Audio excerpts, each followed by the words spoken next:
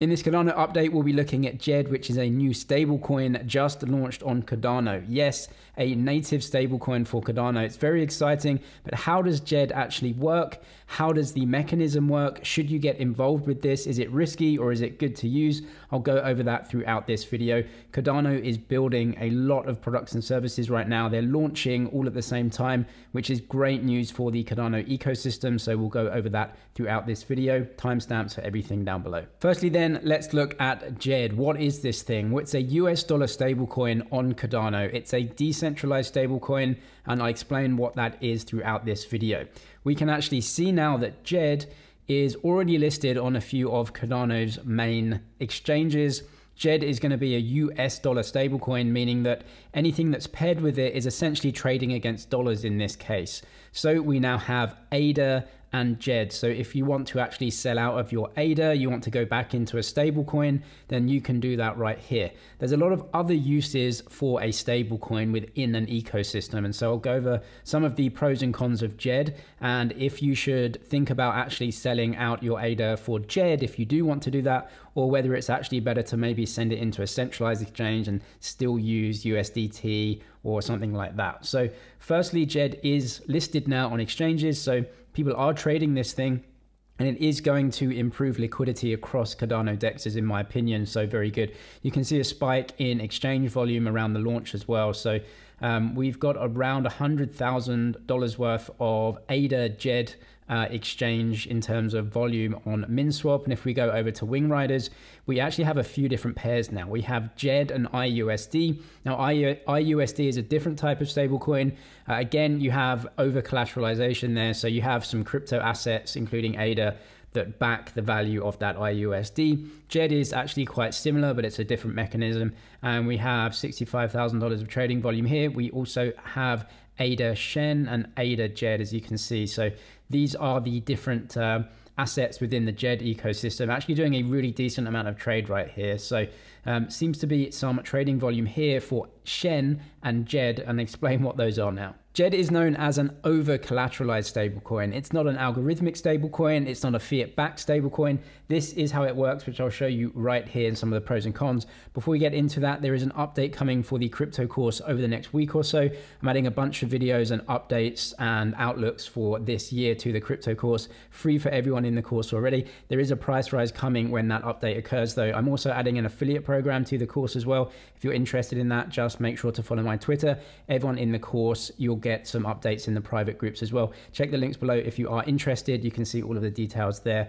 But getting back to DJED, with every asset, there needs to be some sort of backing for it, especially with stablecoins. And so you have USDT, USDC, BUSD. These are one for one fiat backed. And so the buyer of last resort is the dollar in the bank, right? So you have this crypto thing and why does that have value? Well, there's a dollar in a bank account, and you can always go to the protocol, swap in this crypto asset, and get that dollar back. And so that's why they are so effective at keeping their peg. Now, with um, crypto backed stablecoins, how does DJED keep its dollar peg?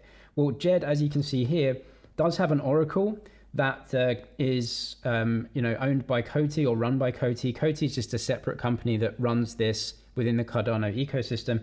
So they have an oracle right here trying to keep DJED around, you know, uh, one dollar in terms of its peg to other risk assets. There may be many other market participants as well who actually try and arbitrage all of these price differences on different exchanges, right? So that can happen as well. So you get an oracle and you get arbitragers keeping DJED where it should be. That's market dynamics.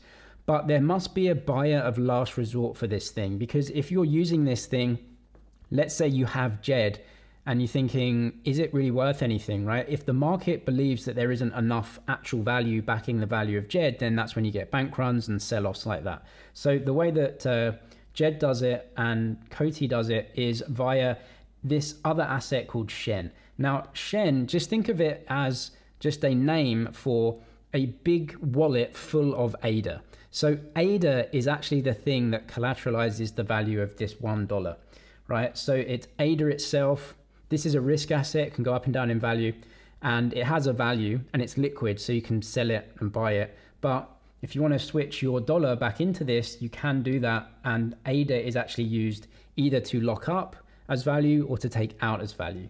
Now, obviously, risk assets, especially crypto, are extremely volatile.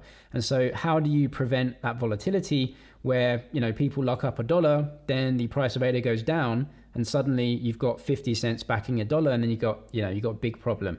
The way they do that is just what's known as over collateralization. So for every one dollar of DJED that's minted, there has to be way more ADA backing this, 400 to 800 percent, or we can say around four to eight dollars. So there's at least four dollars of Shen in existence for every one ADA, um, you know, when it's minted. Now, this can obviously go up and down in value as well, which is a big risk, which I'll talk about. But as you can see, this is what the protocol does. So if you want to mint DJED, you can do that at no no problem, right? So you can actually pay one ADA, you get uh, the amount of DJED back, and then you know off to the side, you have a bunch of ADA sitting in a wallet as collateral to make sure that the market knows that there's enough money there to back all of this stuff. Now, as you can see here, if there's $8 of ADA for every $1 of Shen, you can see people can't put more dollars, more ADA into Shen. So Shen can only go 800%. Now it can actually go 1000%, it can go higher than this. So just imagine if, you know, there's $8 of ADA for every $1 of Shen, and then the price of ADA goes up 100%. Well, now the collateralization ratio is going to be way over 8 to 1 because um, you know, ADA's gone up, right? So this collateralization ratio can actually go way higher, but over 800%, you can't physically use this protocol to put more ADA into the reserve. So as you can see now, the actual reserve is 600%. So you can actually mint Shen and you can do everything. It's working as it should be, right? But if the price of ADA spikes or if a lot of people put money into Shen, it won't let you do this in the protocol. Now, you can go to an exchange and you can buy Shen freely, you can buy DJED freely. This is just the protocol itself. It really wants to keep you in, within this level right here. And as you can see, below 400%, you can't mint new DJED. And there's a reason for that. So obviously with the collateral right here, we have, let's say, $4 for every one DJED.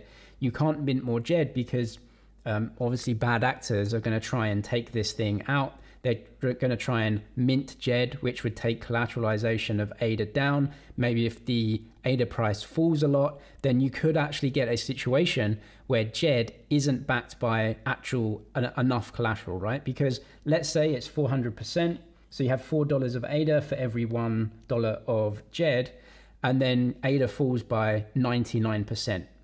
It's unlikely, but it can happen, and we've seen during bear markets it can definitely happen.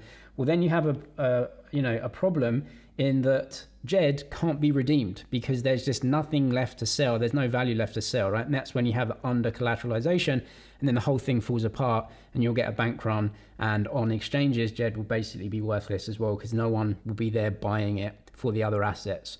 So there is still risk here that when you have crypto-backed stablecoins, the value of the collateral can just go to zero. That is still a risk, which is why they try through their uh, research. They think uh, over collateralization of four to eight hundred percent is actually enough to weather any down any kind of downside and storms during a bear market. That over collateralization gives the protocol a lot of time. If people see the ADA price coming down and they're worried, they should have a lot of time because there's so much collateral locked up in the Shen contracts in terms of ADA that can be sold off to be able to redeem your DJED. So DJED should be redeemable at all times, barring some absolute catastrophe uh, where the ADA price goes down 80, 90% in an extremely short amount of time. But that is a possibility, of course.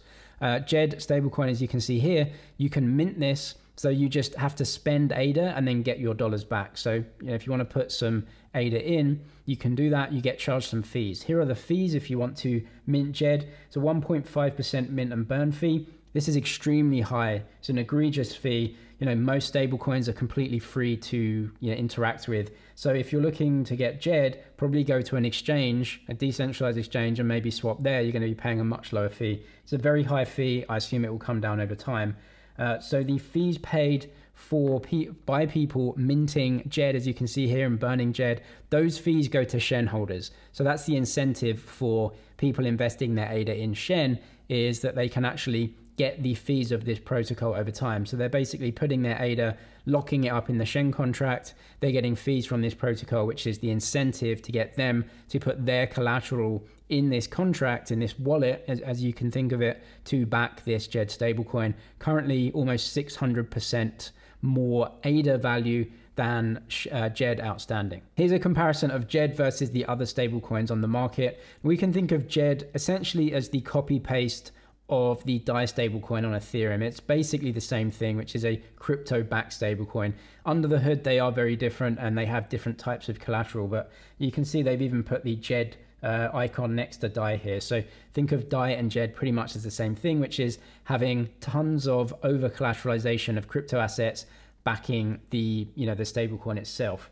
Now, centralized stablecoins, you know, they have a dollar in a bank account. There is a centralized actor here, and they can blacklist your wallet or your transactions. That has happened before.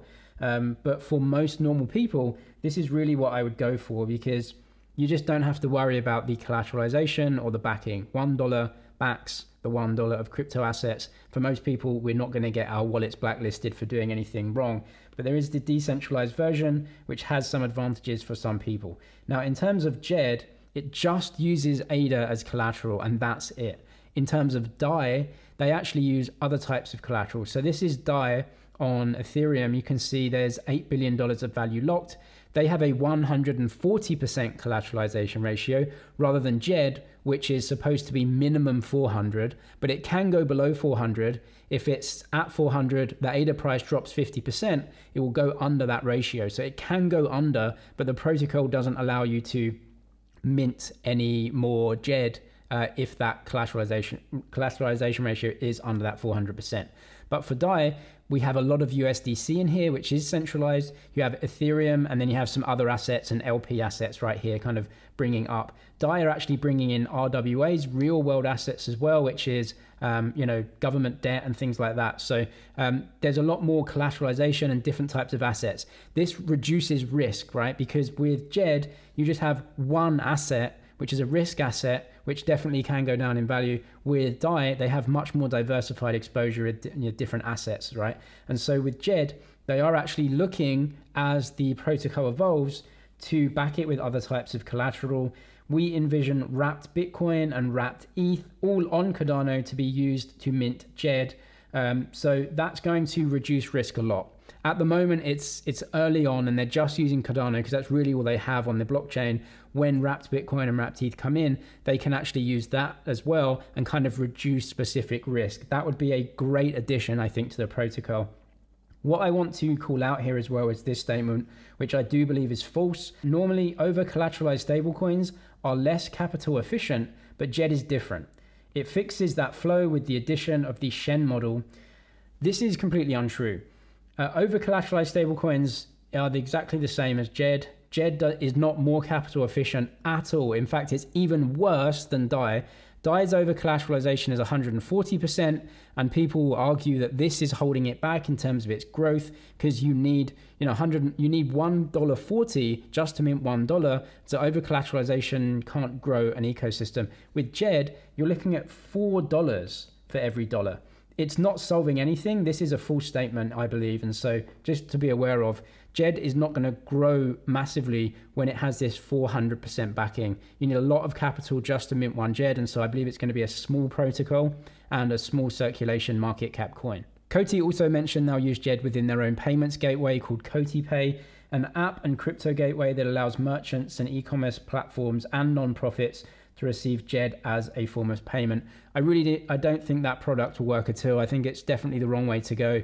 Um, it's not going to take off the ground if they're using DJED. No one really wants to use these crypto-backed stable coins for actually accepting as a payment. And by the way, they're not regulated anyway, and so no actual merchants are going to be able to accept these things. Um, it's just not going to work out. I don't know why they're doing this. The way that DAI actually uses their protocol is essentially as a way for um, asset owners within crypto that have wrapped Bitcoin or wrapped ETH they can put those assets on the DAI protocol and borrow dollars against them. Many institutions and investors and market makers need dollar liquidity occasionally, but they don't want to sell their actual assets to get that dollar liquidity, so they take a loan out against that. We've seen lots of uh, institutions use this as well within crypto. You can see 2.2 billion is managed on DAI, so that's essentially wrapped Bitcoin and wrapped ETH that's locked up in these contracts, and then you can borrow DAI against that. And so you mint the DAI, you pay a fee. Um, so that's a much better use case. It's more like um, an infrastructure that allows for much more liquidity. It allows for um, you know asset prices to be priced much more efficiently as well. That's really what COTI should be doing. I think the payments gateway is way you know going down the wrong alley, but we'll see if they can be successful with that. As a normal retail investor, should you hold DJED if you're just looking to be safe in dollars? I don't think you need to take the risk, to be honest. Both DJED and DAI, you have to worry about the protocol and collateralization ratios and liquidations. It's just not really where you should be as a retail investor. These work absolutely fine, and for most people, they're not going to be censoring your transactions. These aren't available on Cardano, so you might want to wait for Anzens to launch USDA, which is going to be a one for one fiat backed stablecoin, dollars in a bank account to back it. That's the one I would hold if I'm going to hold dollars on the Cardano blockchain because I don't want to worry about you know, very new protocols that could potentially have something go wrong. Whilst I wouldn't use DJED, it is great to see more options and infrastructure being built, including lending protocols and trading. So, very good news in the Cardano ecosystem right now. If you are interested in the crypto investor course, an update is coming for this very soon. Link in description for that, where you can find out more details. I'm James with MoneyZG. Cheers for watching, and I'll see you in the next one.